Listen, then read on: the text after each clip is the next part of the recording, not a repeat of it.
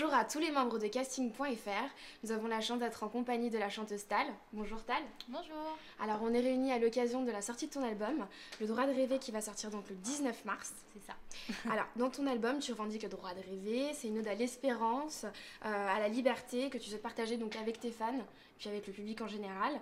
Euh, est-ce que tu peux nous parler un peu de ce premier album, euh, de ces merveilleuses collaborations? Parce que j'ai cru comprendre que tu as collaboré avec Sean Paul pour Waya Waya, tu as collaboré aussi avec John Hayes. Si tu peux nous parler un peu de, cette composition-là. Alors oui, tout à fait. Effectivement, John Hayes, qui est en fait un mixeur, qui a mixé pour Katy Perry, Beyoncé. Donc c'est quand même un privilège de, l'avoir sur, sur cet album.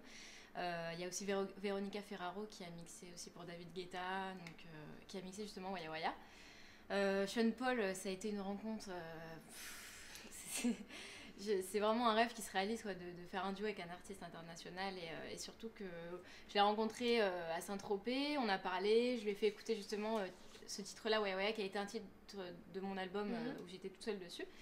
Et euh, on, lui a fait, on lui a fait écouter et on lui a proposé s'il voulait bien faire un duo là-dessus et il a accepté euh, directement. Quoi. Donc c'était euh, c'était assez flatteur et j'étais vraiment honorée de, bah, de, de, faire ce duo avec lui. Et beaucoup d'influences, des influences un peu africaines, raga, que tu as mis dans ce nouvel album. Ouais, en fait l'album est assez varié, en fait, qui reste pop mais qui a quand même des influences très différentes, donc des influences tribales, très africaines, etc. Euh, comme Waya Waya, et puis d'autres titres comme Au-delà et Toutes les femmes où il y a des percus. Euh, tu as un titre justement Le droit de rêver qui est le nom de l'album et qui est une balade guitare-voix. Donc c'est vraiment assez varié, chaque titre a son, son, univers et je suis très contente vraiment du résultat. Vraiment. Donc, euh, Mais justement, alors tu nous parles de toutes tes influences. Quelles sont tes sources d'inspiration, que ce soit pour, par exemple, écrire les chansons? Qu'est-ce qui t'inspire les, les, artistes qui te plaisent et que tu aimerais justement retrouver dans ton album? Bah, il y a surtout un artiste en particulier que, que j'admire depuis, depuis que j'ai 6 ans. Euh, avec, c'est vraiment un artiste que j'écoutais quotidiennement à la maison, que j'ai vraiment grandi avec, c'est Michael Jackson. Euh, parce que c'était musicalement énorme et puis surtout ses messages de paix, les messages euh, pour aider le monde et c'est ça aussi qui me touchait chez lui, c'est qu'il y avait vraiment un côté humain que, que, vraiment j'admirais et, et, du coup il m'a vraiment inspiré et, justement sur cet album j'ai beaucoup de messages de paix, de, de partage avec les gens, de, de euh, euh, qu'on soit ensemble, euh, réunis, enfin voilà, avec nos différences de culture et tout. Mm. Donc oui, il m'a beaucoup influencé Michael Jackson. Alors, tu as plusieurs casquettes. Euh, t'es chanteuse, on a découvert sur Waya Waya, t'es danseuse aussi, euh, comédienne, enfin voilà, t'es vraiment une vraie performeuse. Euh, est-ce que tu pourrais nous parler un peu de ton parcours, comment tu as commencé justement dans le monde de la musique? Alors en fait, ma famille est, artiste, donc ma mère est chanteuse professionnelle, donc elle chantait sur scène, elle était enceinte de moi, donc déjà dans le ventre j'étais sur scène, youhou! Mon père qui est guitariste, mon frère qui est compositeur. Donc quotidiennement depuis que je suis née, j'ai toujours écouté de la musique, j'ai vraiment grandi avec ça et c'est quelque chose de, qui fait partie de notre vie. Et, euh, et du coup, euh, bah, j'ai commencé à chanter, j'avais 3 ans. Euh, et à l'âge de 12 ans, j'ai commencé à prendre des cours de, de danse, parce que j'aimais aussi la danse. donc j'ai pris 4 ans de, hip-hop raga. j'ai fait aussi du théâtre, comédie, dans la compagnie des sales gosses. Et je me suis mise à la guitare et au piano à l'âge de 12 ans, justement pour m'accompagner, pour mhm. chanter et m'accompagner.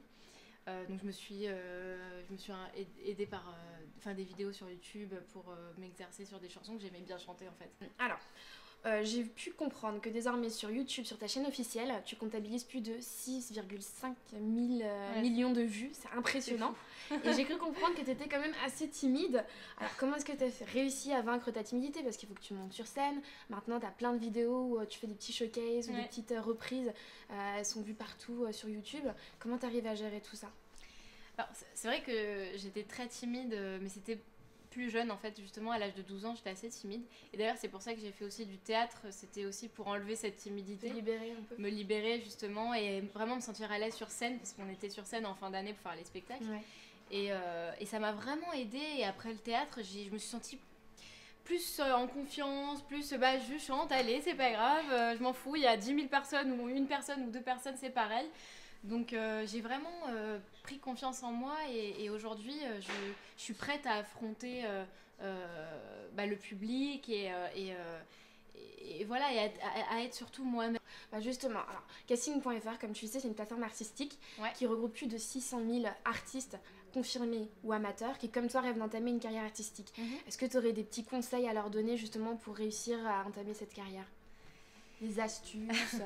Euh, bon, j'ai que 22 ans, j'ai pas une expérience de, grande, grande chanteuse, mais euh, avec le, minimum d'expérience que j'ai, qu'est-ce que je peux vous dire? Je pense que la première chose déjà, c'est de, de surtout de rester soi-même, de pas euh, essayer de, de, faire comme ou vraiment rester soi-même, naturel, enfin voilà, vraiment à 100% soi-même. Et surtout, il faut travailler. Je pense que, enfin voilà, moi j'ai travaillé pendant 3 ans en studio, matin, midi et soir, et. Mm je pense que le travail ça paye et je pense que voilà il faut jamais lâcher l'affaire faut, faut y aller faut faire des castings faut faire plein même s'il y en a deux trois vous n'y arrivez pas faut continuer faut continuer jusqu'à euh, vous y arriver et je pense que euh, quand on se bat et quand on veut quelque chose on peut l'avoir n'y a pas de raison que. Voilà, c'est la phrase à retenir alors à tout le monde de casting.fr. D'ailleurs, tu parles de casting. Est-ce que tu aurais passé des castings? Est-ce que tu aurais peut-être une petite euh, anecdote à, partager avec nous, qu'elle soit bonne ou mauvaise? Euh, Est-ce que. Euh, bah. En fait, j'ai jamais fait de casting. Bah, parce qu'en fait, comme j'ai pris des cours, c'était plus en apprentissage, donc je, je, me suis pas lancée dans des castings parce que peut-être j'étais pas prête, j'étais un peu jeune, enfin il fallait que je travaille plus. Donc euh, malheureusement, j'aurais pas d'anecdote à, vous raconter. D'accord. Bah écoute, merci d'avoir répondu à mes questions. Bah merci à donc, toi. je le rappelle à tous les membres de casting.fr, ton album sort le 19 mars. Oui. Voilà, donc soyez au rendez-vous. et puis tu vas euh, justement nous interpréter quelques petites chansons, alors oui. reprises et des singles de ton album. Mm. Voilà, allons-y. C'est parti.